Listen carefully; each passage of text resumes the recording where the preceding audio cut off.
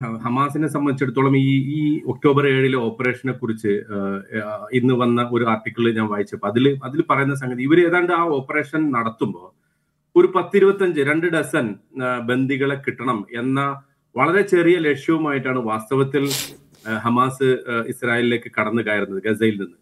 പക്ഷേ വളരെ അപ്രതീക്ഷിതമായി തന്നെ ഇസ്രായേലിന്റെ എല്ലാ ആ അർത്ഥത്തിലുള്ള സെക്യൂരിറ്റി സംവിധാനങ്ങളും പൊളിഞ്ഞു വീണപ്പോൾ ഇവർക്ക് പിന്നെ ആ അപ്രതീക്ഷിതമായിട്ടാണ് ഇത്രയധികം ബന്ദികളെ ലഭിച്ചത്. ഈവൻ ആ അവിടെ നടന്ന കൊലകൾ പോലും അല്ലെങ്കിൽ ഹമാസ് നടത്തിയെന്ന് പറയുന്ന കൊലകൾ പോലും വാസ്തവത്തിൽ ആ ഒരു പെട്ടെന്നുള്ള അപ്രതീക്ഷിതമായിട്ടുണ്ടായ ആക്രമണത്തിൽ സംഭവിച്ചതാണ്. അതിൽ തന്നെ ഒരുപാട് സംശയങ്ങൾ പറയുന്നുണ്ട്. ഇസ്രായേലിൽ തന്നെ ഇസ്രായേലിന്റെ ഫയർ കൊണ്ട് തന്നെ ധാരാളം സിവിലിയൻസ് കൊല്ലപ്പെട്ടിട്ടുണ്ട് ഇസ്രായേലി സിവിലിയൻസ് അത് അത് നമ്മൾ വേറൊരു വിഷയമാണ്. പക്ഷേ ഈ ബന്ദികളെ ഇത്രയും വലിയൊരു ക്യാച്ച് ഇരുന്നൂറ്റി അൻപതോളം പേരെന്നുള്ളത് ഹമാസ് പോലും പ്രതീക്ഷിക്കാത്തതാണ്. അതുകൊണ്ട് തന്നെ ഇപ്പോ ഹമാസിന്റെ കയ്യിലുള്ള ഏറ്റവും പ്രധാനപ്പെട്ട ഒരു ഒരു കാർഡ് ഒരു ട്രംപ് കാർഡ് എന്ന് പറയുന്നത് ഈ ബന്ദികളാണ്. ഏതാണ്ട് ഈ ഇത് തുടങ്ങുമ്പോൾ ഏതാണ്ട് അയ്യായിരത്തോളം ഫലസ്തീനി തടവുകാരാണ് ഉണ്ടായിരുന്നത്. പക്ഷെ ഇപ്പോ വെസ്റ്റ് ബാങ്കിൽ നിന്ന് എല്ലാ ദിവസവും എല്ലാ ദിവസവും പതിനഞ്ചും ഇരുപതും ആളുകളെ ബന്ദികളായിട്ട് തടവുകാരായിട്ട് ഇസ്രായേൽ പിടിച്ചുകൊണ്ട് പോകുന്നു. അപ്പൊ ഈ തടവുകാരെ മുഴുവൻ മോചിപ്പിക്കുക എന്നത് ഏറ്റവും പ്രധാനപ്പെട്ട ഒരു ഡിമാൻഡ് തന്നെയായിരിക്കും. അതുകൂടാതെ കൂടാതെ അവർ നേരത്തെ തന്നെ മുന്നോട്ട് വെച്ച ഇപ്പൊ അബൂബൈദ ഹമാസിന്റെ വക്താവ് അബൂബൈദ പറഞ്ഞ ചില സംഗതികളുണ്ട്. അതായത് ഗസയ്ക്ക് ഒരു അവർക്ക് സ്വതന്ത്രമായി ചില സംഗതികൾ പ്രത്യേകിച്ച് വെള്ളം വൈദ്യുതി പോലുള്ള സംഗതികളിൽ അവരുടെ കാര്യങ്ങൾ തീരുമാനിക്കാനുള്ള സ്വാതന്ത്ര്യം കൊടുക്കുക.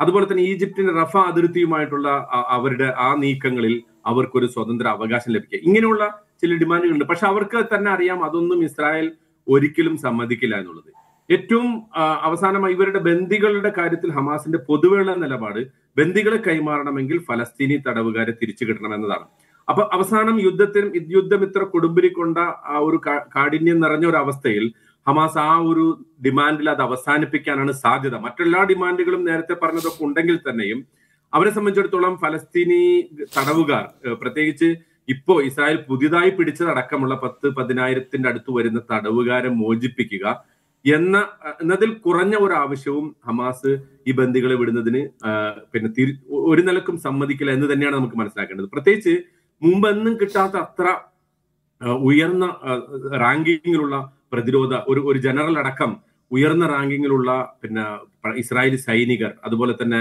സിവിലിയൻസ് ഒക്കെ ഈ ബന്ദികളുടെ കൂട്ടത്തിലുണ്ട്. അപ്പൊ അതുകൊണ്ട് തന്നെ ഏറ്റവും വലിയ തങ്ങളുടെ ആവശ്യം അവർക്കറിയാം ഇത് ഈ ഈ അവസരം കടന്നുപോയാൽ ഇതിനപ്പുറത്തേക്ക് ഇനി ആ ഒരു അവസരം പിന്നെ ഹമാസിനെ സംബന്ധിച്ചിടത്തോളം പക്ഷെ താജാലോ പക്ഷെ ഇതിനകത്ത് ഹമാസ് കാര്യത്തിലുള്ള അവരുടെ അവരുടെ ഡിമാൻഡ് ഇതുവരെ പ്രഖ്യാപിക്കുന്നില്ല എന്ന് തോന്നുന്നു.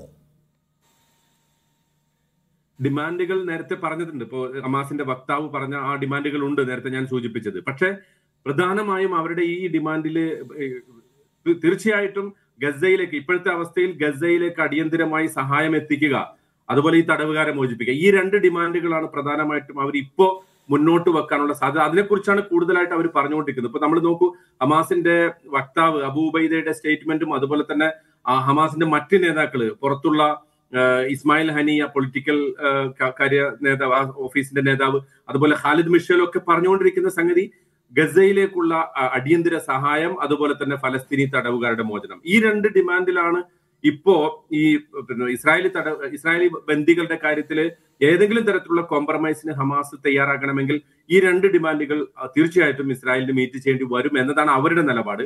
പക്ഷെ അത് കൂടുതൽ ചർച്ച മുന്നോട്ട് പോകുമ്പോൾ പ്രത്യേകിച്ച് ഖത്തറിനൊക്കെ മധ്യസ്ഥത്തിൽ മധ്യസ്ഥതയിൽ ഇത് മുന്നോട്ട് പോകുമ്പോൾ യുദ്ധം ഒരുപാട് നിരപരാധികളെ ബാധിക്കുമ്പോൾ പ്രത്യേകിച്ച് വിശപ്പ് നമ്മൾ നേരത്തെ പറഞ്ഞല്ലോ ഒരു വിശപ്പ് തന്നെ ഒരു ആയുധമാക്കി ഇസ്രായേൽ മാറ്റുകയാണ്. ദാഹം കുടിക്കാനുള്ള വെള്ളം കിട്ടാത്തത് അതുപോലെ തന്നെ ഫ്യുവൽ ആശുപത്രികൾ പ്രവർത്തിക്കാനുള്ള ഇന്ധനം.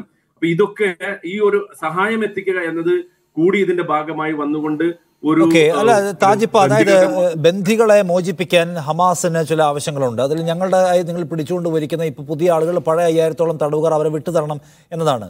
അത് സാധാരണ നിലയ്ക്ക് നടക്കേണ്ടതാണ്. ഇതിന് മുമ്പ് ഇസ്രായേൽ അങ്ങനെ ചില കോംപ്രമൈസിന് വഴങ്ങിയിട്ടുണ്ട്. പക്ഷേ ഇതിപ്പോൾ ഒക്ടോബർ ഏഴിലെ ഒരു വലിയ ആക്രമണവും സെക്യൂരിറ്റി ലാപ്സും അവർക്കുണ്ടായി.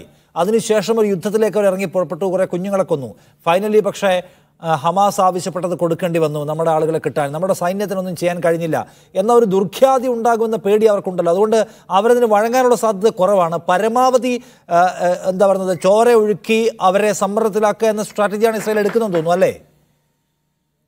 അതാണ്. തീർച്ചയായിട്ടും ആ ഒരു നിലപാടിലേക്കാണ്. പക്ഷേ അത് ആ നിലപാട് എത്രമാത്രം വിജയിക്കുന്നു എന്നത് നമ്മളിപ്പോ നോക്കൂ അന്താരാഷ്ട്ര തലത്തിൽ ജനങ്ങൾ വലിയ വലിയ സമ്മർദ്ദം ആ അർത്ഥത്തിൽ ഇസ്രായേലിന് ഉണ്ടാകുന്നുണ്ട്.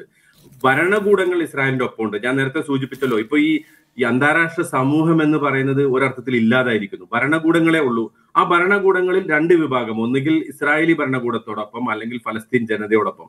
അപ്പൊ ഈ ഒരു നിലയ്ക്ക് ഇതിനെ ഈ സമ്മർദ്ദത്തെ ഇസ്രായേൽ ഇപ്പോ അറബ് രാജ്യങ്ങൾ തന്നെ അതിശക്തമായ സമ്മർദ്ദത്തിലാണ്. അപ്പോ അറബ് രാജ്യങ്ങളും അതുപോലെ മറ്റ് ഇപ്പോ ലാറ്റിൻ അമേരിക്കയിലെ കുറെ രാജ്യങ്ങൾ ഇസ്രായേലുമായിട്ടുള്ള ബന്ധം വിച്ഛേദിക്കുകയോ അല്ലെങ്കിൽ അംബാസഡർമാരെ തിരിച്ചു വിളിക്കുകയോ ചെയ്തു. റഷ്യ ചൈന പോലുള്ള രാജ്യങ്ങൾ വളരെ പ്രഖ്യാപിതമായി ഉറച്ച സ്വരത്തിൽ തന്നെ ഫലസ്തീനോടൊപ്പം നിൽക്കുന്നു. ഇതിനെ എത്രമാത്രം അറബ് രാജ്യങ്ങൾക്ക് പ്രത്യേകിച്ചും ഒരു ഒരു സമ്മർദ്ദ ശക്തിയാക്കി വളർത്താൻ സാധിക്കും ഇസ്രായേലിനെതിരെ? അതിനനുസരിച്ചിട്ടാണ് ഈ പിന്നെ വെടിനിർത്തലിന് ഇസ്രായേൽ സമ്മതിക്കുമോ? ബന്ദികളുടെ മോചനത്തിന് ഒരു അന്താരാഷ്ട്ര സമ്മർദ്ദം ഒരു പ്രധാനപ്പെട്ട വിഷയമാണ്. അറബ് രാഷ്ട്രങ്ങളുടെ ഒപ്പം തന്നെ അമേരിക്ക അടക്കമുള്ള രാജ്യങ്ങൾ